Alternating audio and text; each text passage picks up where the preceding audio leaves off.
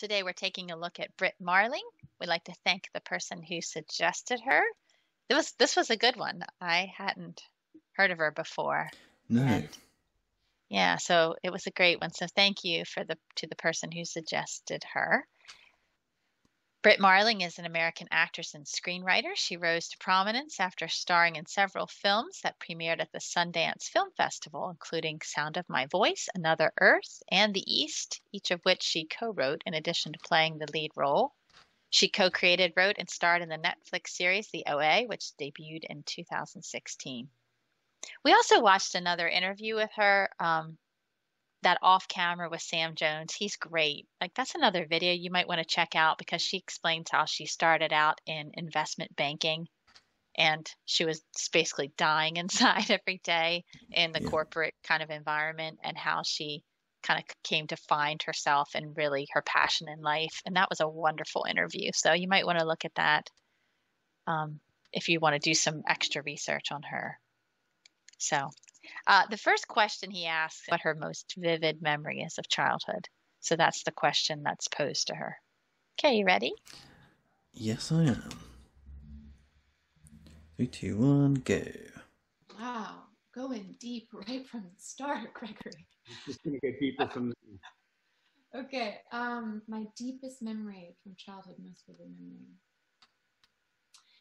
You know, I think um, I don't know that this is the earliest memory, but it's the most vivid. It uh, I moved around a lot as a kid. We we moved constantly, and uh, I think because of that, I had a sort of um, fragmented childhood and and from house to house there was nothing coherent it was hard to know what you could take root into but i you know I, asked my dad if every time we moved if we could at least move into neighborhoods with climbing trees or if there could be climbing trees nearby um, and he really was good on that promise and so i think my most vivid early memories are of those trees. Like I remember very specific trees in each town or each city that uh, I would crawl up into the top of. And I don't know, I think I had this sense when I was very young that everything felt very impermanent, but that the trees were more permanent and that they were a kind of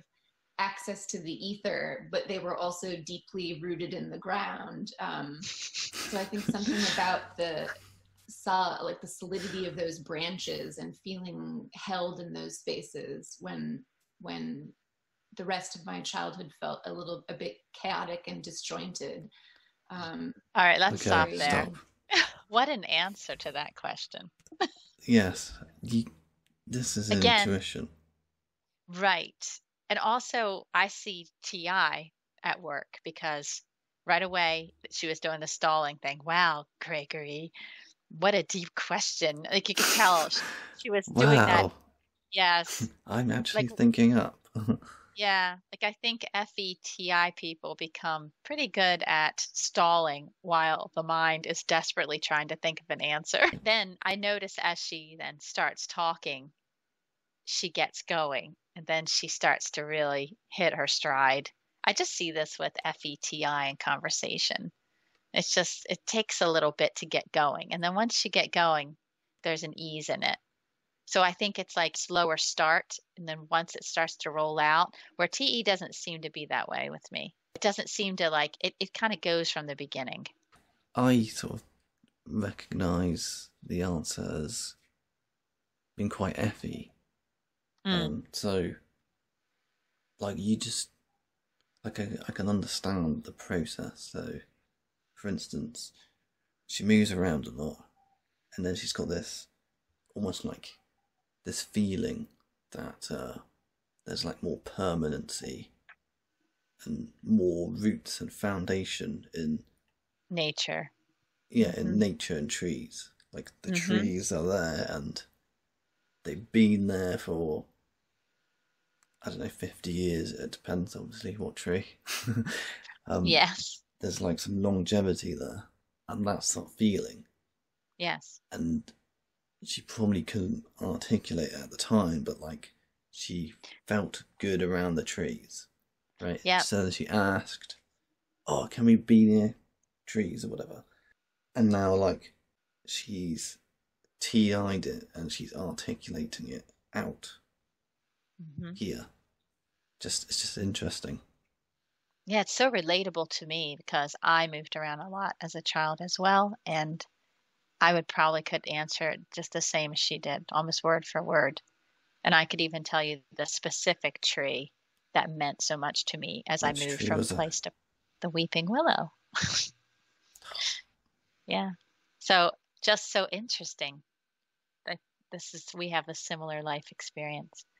I wanted to point something else out too. This INFJ is a bit of a different manifestation. Yes, she is. And and I'm going to venture a guess, and I couldn't prove it unless I could talk to her specifically. I know another INFJ who's very similar to her, and we talk about the circumstantial a lot, how circumstances are so important to who a person becomes. I would venture to say that this, that Brit Marling had feeler parents that spoke a certain way. Yeah. Um, yes. And I don't, I'm not sure if it would be FE or FI. I haven't thought this through very much.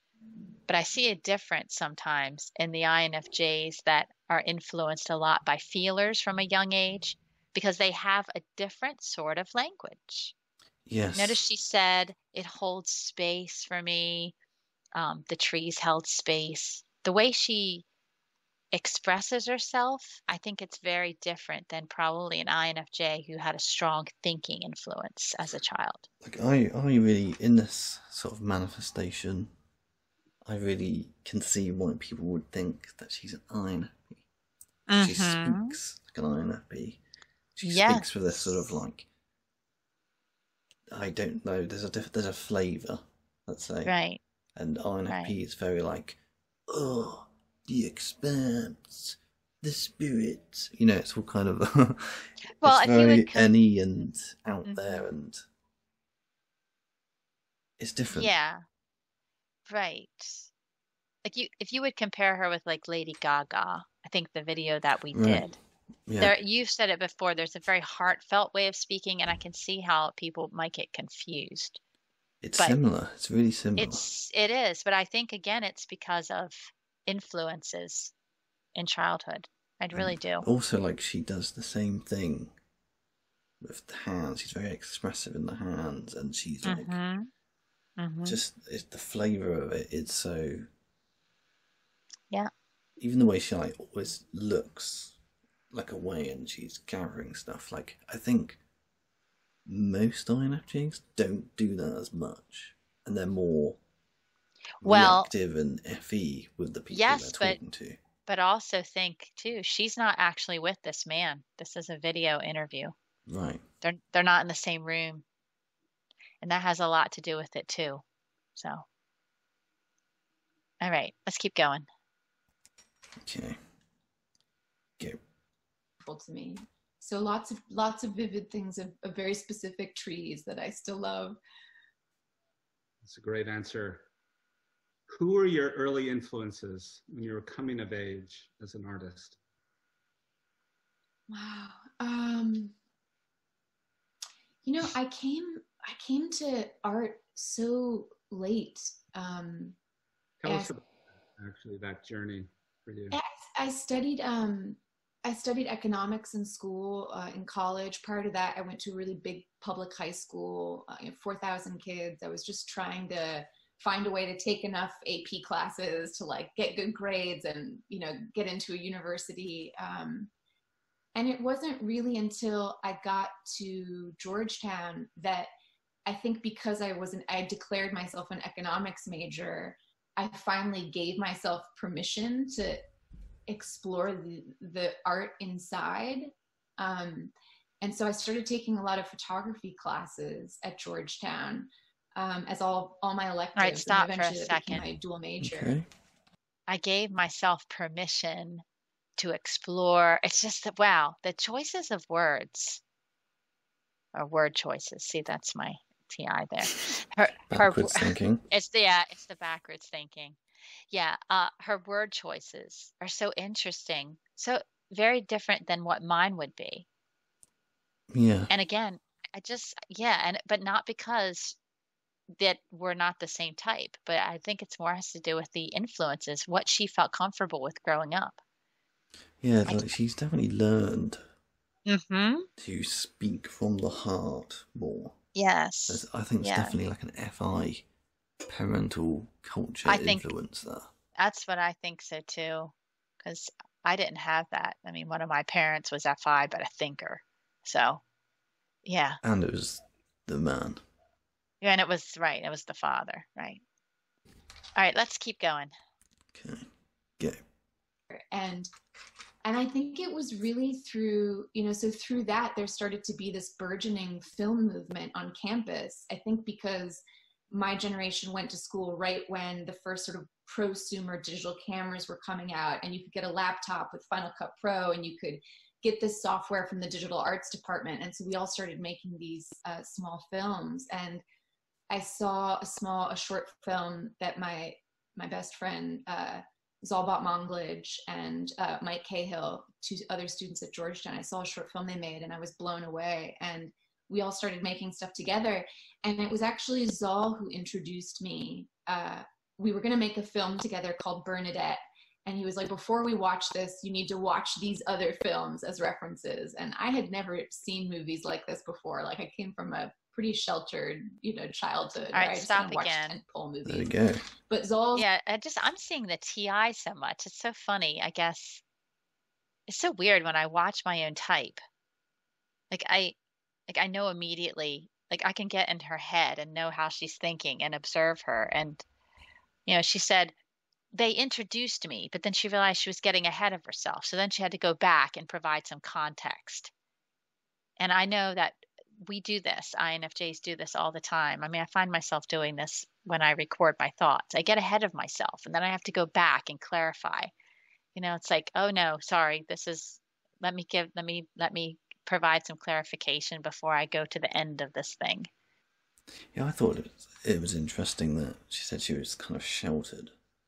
Mm-hmm. Maybe that's Yes. something you could read I into could. a little bit. Right. Okay. Okay. Paul's list of films for me included uh, Red by Krzysztof Kieslowski. I don't know if you've seen this film, I'm sure, yeah. And uh, Double Life of Veronique. And I watched these films and I was blown away. I mean, I can still remember the visceral feeling I had watching Irene Jacob on screen. Oh, it felt to me like she was something beyond this even the- an actor. yeah. All right, she stop. Like a, This is Like the a FE drama that you just- love, isn't it? The FE drama. Yeah. So expressive. That's what I mean. Right. It, Yeah. it, it's, yeah, like all the hands and Yes. like, ah, yeah. it's, I don't know. I'm very curious to see who her parents' types, what I her know. parents' types are, because I know. It would be interesting to know. hmm All right, let's keep going. okay, Can't waste this beautiful expression. channeling something through her and and the cinematographer and the score and you know the director they were all there together creating this humming alive thing that felt um i don't know Kieslowski feels to me like he can touch on something metaphysical that many of us feel about being alive but collapses the moment you try to articulate it in language. It's almost like language is too heavy. It's this like thing that kind of weights it down. Um Decisive J unless dude's you happen probably like, fantastic poet. Um but those early movies red double life of All right, Veronique stop Blue, again. when i saw Ah, I love it. This is so funny because I've been inspired by this kind of INFJ myself with their hand motions. I've actually I've studied it a little bit and I've tried to do it myself. How embarrassing. Um, when I'm reading scripts for my own videos and no one can see me, I'm trying to use my hands more. yeah, I, I to real- noticed you did it yesterday. I'm t- I'm trying to bring out my words more. Um, like really use my hands. It's so funny.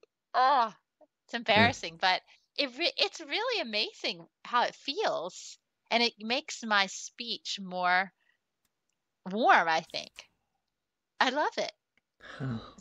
and I didn't have yeah, and I never had that influence growing up. I didn't. So this is something I'm kind of learning, but yeah, I I really appreciate this about her. It's beautiful. Yeah, it's it's different. Yeah, I think we have another INFJ on our list who is similar. We haven't typed her yet. I'll tell you who it is when we're done recording. And I'll I'll be sure to point it out once we get to it. But I think she's a little she's similar to this in a way. So we'll we'll check her out later, but yeah, I just think she, there's just no doubt this woman is intuitive. Yeah, it's almost like her learned sort of expressive Right. style makes her seem more intuitive. It's almost like I it sort of I- sells it. Yeah, I I I'm gonna say because of this other INFJ woman that I know who has an INFP influence in her life, a strong INFP. I really wonder if these INFJs aren't influenced by INFPs, Yeah, either as parents or spouses it or does seem something. like it. 'cause it I it's- know. You, you manifestation wise, Lady Yes. Gaga and her, it's very similar. But like you Right. can see the FE at the same time. Yes, And yes, you you can say, can. no, no, no, I'm not falling for that. That's Mhm. that's FE. It's not FI. Right. But you can tell the influence. So I'm I would make a guess that um, Brit Marling has been influenced by an INFP. That's just my feeling, Yep. Because and yeah, I, I can't prove it, but it's, it's, she's almost like an adoptive INFP in some ways. yes, she is. Yes. Wow. Huh. and you Well, know, FETI types do Yeah. tend to be very influenced by other people, Yes, for sure. Mm-hmm. um, Well- particularly INFJs. Yes. Mm-hmm. So it's interesting, and it'd be interesting to, to see all the sort of other manifestations. You almost get like a flavour um, Yes. of INFJ based on who their sort of dominant influence has been, really. Mm-hmm. And I think even as we age, we still look around and adopt things. You know, like I just said, even me, I still, I'm still looking around and adopting certain things as part of my person. I like that. I might try that on see what happens. I don't know. It's fun. It's like being an actress in some ways.